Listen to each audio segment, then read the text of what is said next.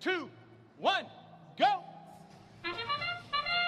Sandstorm blows over Planet Primus for one of the last times today. Blue Alliance aiming for all null hatch panels here on their preload strategy. The Red Alliance splitting the difference a little bit. Three null hatches, three pieces of cargo, and they seal one of those pieces of cargo in in the Sandstorm period with a two point hatch panel. And that'll bring their score up to 25. The Blue Alliance, however, putting up a whopping, well, it was 31, now it drops to 26. Life score's a little shaky sometimes. But still a scoring barrage here in your finals at the SunDome District event. And here it goes. Let's see how it all shakes out. Robo Sparks, Red Alliance, driving over to Blue Turf yet again. We've seen them be the defense bot in almost every match here in our playoff rounds.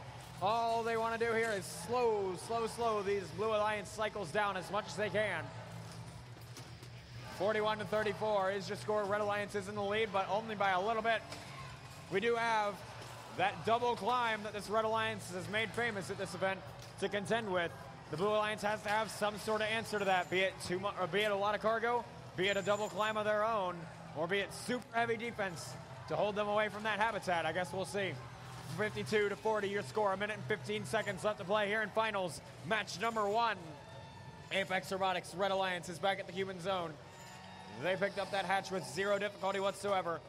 They're ready to continue constructing the Red Alliance rocket in the top left corner of the field. There's two hatch panels installed for a total of four. Their alliance partner comes home now, back to the habitat. That's the Robo Sparks out of Wapato. They'll take the scenic route all the way around the field. Now they're back in Blue Alliance turf.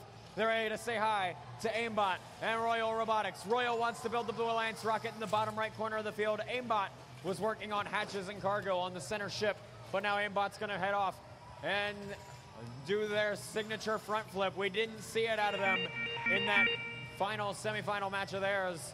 They still ended up here in the finals by very, very close margin. They're hungry to make sure this front flip works. There's our 20 second bell. Your scores separated by only a few points. There's our double climb from the Red Alliance. Apex is up. Jack in the Bot is up. 24 points plus three is 27 between that whole alliance.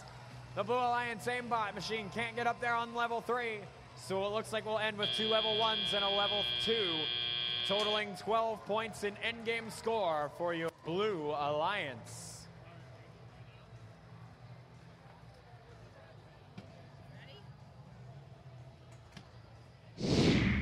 Just three points shy of the high score for the event. Takes finals match number one, a score of 93 to 65. And your Red Alliance will go up one in the series. That means we got another six minute field time out because we're playing back to back matches. We'll see you in a bit.